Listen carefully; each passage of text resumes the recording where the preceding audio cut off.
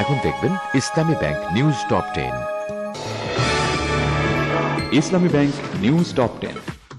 রাজনীতি নামে বিএনপি জামাতের গণহত্যা মেনে নেওয়া যায় না বলেছেন প্রধানমন্ত্রী শেখ হাসিনা। সব জেলায় বার্ন ইউনিটের ঘোষণা।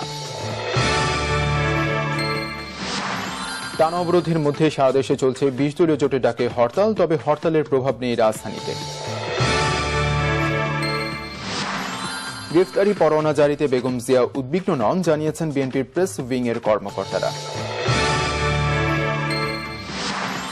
বেগম খালেদা জিয়ার বিরুদ্ধে জারি করা গ্রেফতারি পরোয়ানা এখনও পুলিশের কাছে পৌঁছায়নি, জানিয়েছেন ডিএমপি মুখপাত্র। রাজধানীর কল্যাণপুরে জাহাঙ্গীরনগর বিশ্ববিদ্যালয় ছাত্রদল সভাপতি ও কেন্দ্রীয় ছাত্রদলের সহ সাধারণ সম্পাদককে আটক করেছে গোয়েন্দা পুলিশ। সুন্দরবনের শরণখোলার কাতলার খালে র্যাবের গুলিতে তিনজন নিহত। র্যাবের দাবি বন্দুকযুদ্ধে নিহতরা বনদস্যু বাহিনীর সদস্য। পয়লা মার্চ, দেশব্যাপী সৃজনশীল মেধা অন্বেষণ প্রতিযোগিতা শুরু হচ্ছে, জানিয়েছেন শিক্ষামন্ত্রী নুরুল ইসলাম নাহিদ।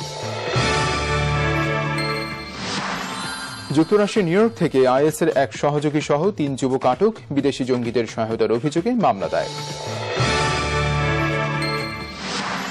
বিশ্বকাপ ক্রিকেটে নিজেদের তৃতীয় ম্যাচে শ্রীলঙ্কার বিরুদ্ধে লড়ছে বাংলাদেশ, রানের চাপে শ্রীলঙ্কা। বিশ্বকাপ ক্রিকেটে স্কটল্যান্ডকে এক উইকেটে হারিয়ে আফগানিস্তানের প্রথম জয় সামিউল্লাহ শেরওয়ানি ও জাভেদ আহমদির হাফ সেঞ্চুরি। ইউনিটের ঘোষণা। টানা অবরোধের মধ্যে সারা দেশে চলছে বিশ দলীয় জোটের ডাকে হরতাল, তবে হরতালের প্রভাব নেই রাজধানীতে। গ্রেফতারি পরোয়ানা জারিতে বেগম জিয়া উদ্বিগ্ন নন, জানিয়েছেন বিএনপির প্রেস উইং এর কর্মকর্তারা। বেগম খালেদা জিয়ার বিরুদ্ধে জারি করা গ্রেফতারি পরোয়ানা এখনও পুলিশের কাছে পৌঁছায়নি, জানিয়েছেন ডিএমপি মুখপাত্র।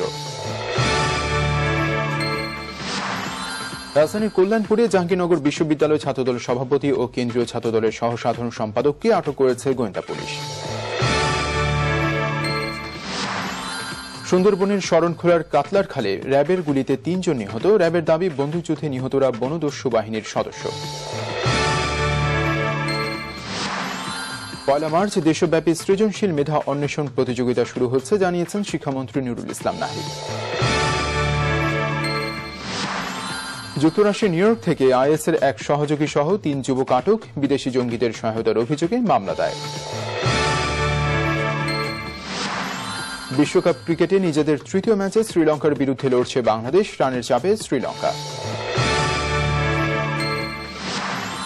বিশ্বকাপ ক্রিকেটে স্কটল্যান্ডকে এক উইকেটে হারিয়ে আফগানিস্তানের প্রথম জয় সামিউল্লাহ শেরওয়ানি ও জাভেদ আহমদির হাফ সেঞ্চুরি।